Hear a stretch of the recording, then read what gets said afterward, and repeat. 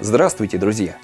Если вы устали от городской суеты и мечтаете о путешествии туда, где можно скрыться от постороннего шума и необходимости вечно куда-то спешить, то, пожалуй, самый правильный выбор – это полуостров Мангышлак на западе Казахстана –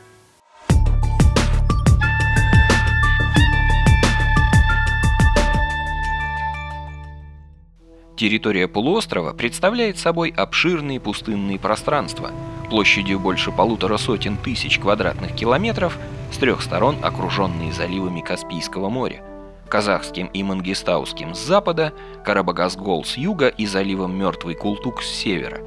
А на востоке равнины и холмы Мангышлака постепенно перетекают в плато Устюрт. Мы не случайно выбрали этот регион для нашего очередного путешествия – его фантастические ландшафты не оставляют равнодушным никого, кто сюда попадает. На нашей планете не так уж много мест, где можно наблюдать подобные пейзажи.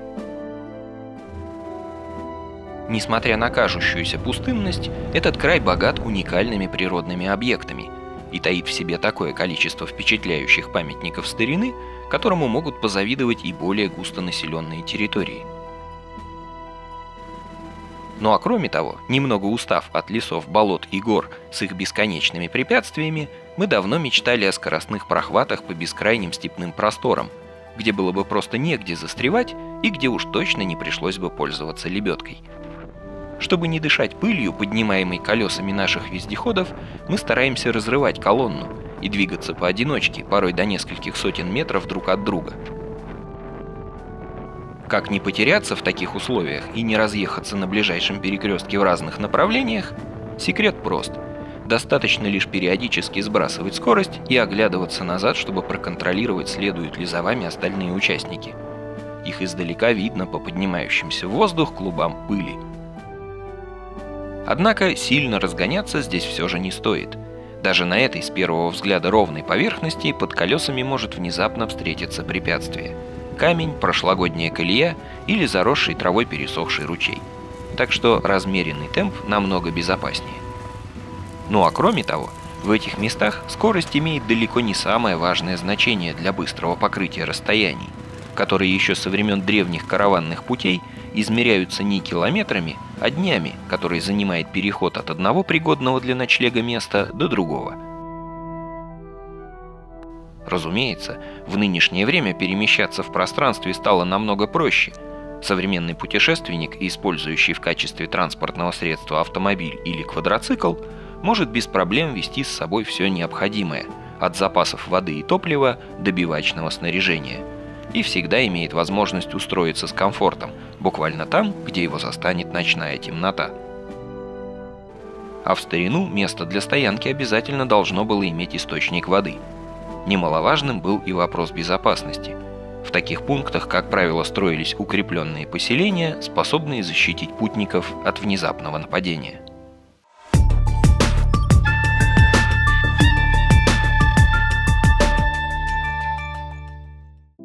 В двух десятках километров от поселка Шетпе, в небольшой уютной долине, прикрытой от степных ветров складками западного Каратау, расположился оазис Акмыш – Весьма непривычной выглядит среди выжженных солнцем скал и песков зеленая рощица, раскинувшаяся по берегам ручья, бегущего с горных склонов. В наши дни уровень воды в ручье совсем небольшой, и его запросто можно переехать вброд на квадроцикле. Нужно заметить, что это был единственный брод за все наше путешествие по полуострову Мангышлак. Все остальные водотоки оказались полностью пересохшими –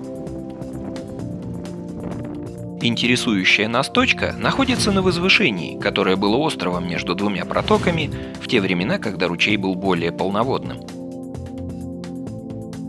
Сегодня это место выглядит как ничем не примечательный пустырь, усыпанный осколками кирпича и черепицы. В нем и правда не было бы ничего интересного, если бы не возраст этих предметов, с первого взгляда похожих на самый заурядный строительный мусор – это наглядный пример того, как время неумолимо стирает с земной поверхности все, что было построено человеком, и по каким-то причинам им заброшено. Трудно представить, но в этом самом месте, на площади больше 50 гектар, в средние века располагался укрепленный город, центр ремесла и торговли. Стены средневековых построек можно разглядеть здесь и сегодня.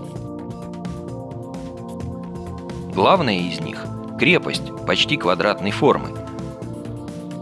Длина каждой из четырех стен больше 100 метров, а высота, даже в том виде, в котором они сохранились, больше трех метров. Они выполнены по принципу так называемой панцирной кладки. Из крупных каменных блоков возводились две параллельные стенки, а пространство между ними заполнялось раствором и щебнем. Помимо природного камня при строительстве применялись красный кирпич и красная глиняная черепица. Возможно, именно из-за цвета этих материалов город часто называют Кызыл-Кала, то есть Красная крепость.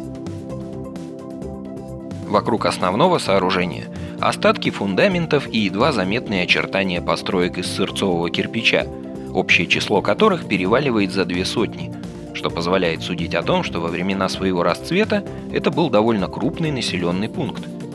По данным археологов, он был основан в X веке, а возможно даже еще раньше, до разгрома хазарского каганата. Именно в этом месте город появился не случайно. Здесь проходил важный торговый путь, соединявший Хорезм, нынешний Узбекистан, и Поволжье. А если учесть, что уровень воды в Каспийском море в тот период был существенно выше, и береговая линия располагалась гораздо ближе, можно предположить, что география торговых связей Кызылкала могла быть попросту безграничной. В XIII веке после разгрома Чингисханом Хорезмского государства торговое сообщение прекратилось, и город пришел в упадок. И только эти опустевшие руины напоминают о том, что когда-то он был важным связующим звеном на пути между Азией и Европой.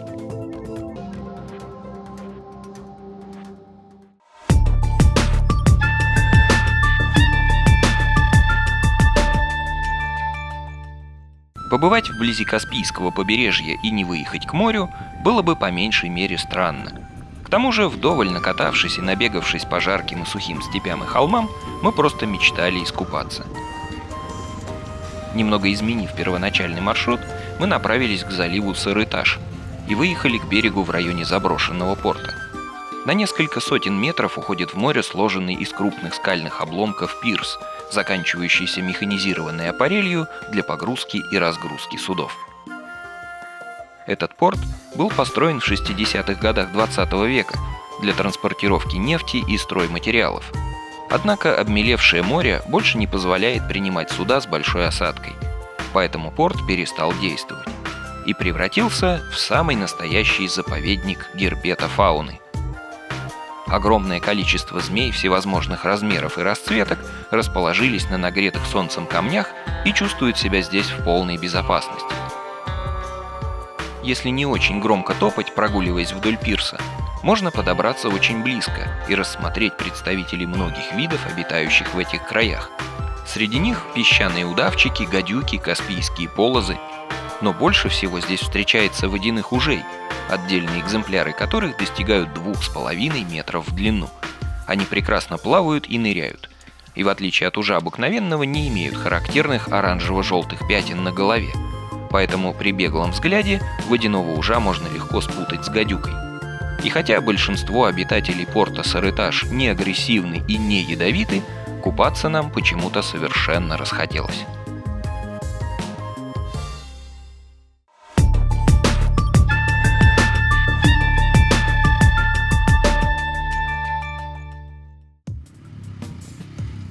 Всего в четырех километрах от побережья Мангыстауского залива Каспийского моря и в трех десятках километров от села Таушик на краю глубокого каньона, пробитого древней рекой в горном хребте, сложенном из ракушечника – находится весьма примечательный оазис.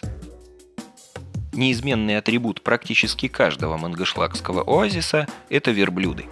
Мы застали этих грациозных животных в период их весенней линьки, поэтому выглядели они не очень фотогенично, обвисшие клочьями и пыльными дредами старой шерсти. Похоже, они сами стеснялись своего внешнего вида и старались скрыться, как только замечали, что мы распаковываем наши камеры и собираемся снимать.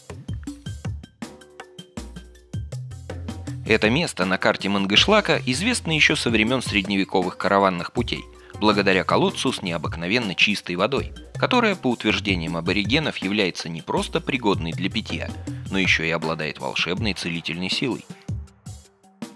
И хотя в странах с жарким климатом мы предпочитаем использовать воду, купленную в магазинах и упакованную в пластиковые бутылки, в многодневных путешествиях иногда все же приходится делать исключения и пользоваться водой из природных источников, разумеется, только после ее кипячения.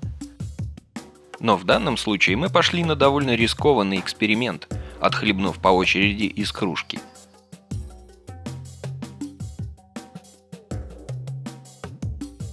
Вода действительно оказалась удивительно чистой, холодной и очень вкусной. Но самое интересное здесь – подземный культовый комплекс. Его принято называть мечетью, однако увиденное нами совершенно не вяжется с представлениями о том, как выглядит традиционный мусульманский храм. На поверхности видны несколько выпиленных из ракушечниковых плит круглых пирамидок, похожих на пулеметные доты – середине 20 века эта подземная мечеть была заброшена и засыпана, и восстановили ее сравнительно недавно, установив такие оригинальные купола над колодцами, служащими для освещения и вентиляции. Точная дата ее постройки неизвестна, можно определить лишь период с 9 по 12 век, а основателем считается Султан Эпе, почитаемый как святой, защитник мореплавателей и путешественников. Попасть внутрь можно по узкой каменной лесенке, круто уходящей вниз на несколько метров. Первое, что попадается на глаза – плиты с надписями, содержащими выдержки из Корана. Под землей несколько помещений неправильной формы, выглядящих как природная карстовая пещера с минимальными доработками. Через проделанные в потолке люки сюда проникает совсем немного уличного света, который приобретает своеобразный оттенок, отражаясь от розового ракушечника – Своды подземелья поддерживают колонны, сделанные из уложенных стопками круглых дисков, вырезанных из тех же ракушечниковых плит. Свободного пространства здесь совсем немного.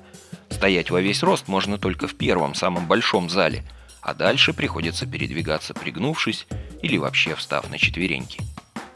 Кстати, подземный храм Султан Эпе далеко не единственный в этих местах. Со средних веков до наших дней сохранилось множество подобных ему объектов – предназначенных для уединенных духовных практик, молитв и медитаций –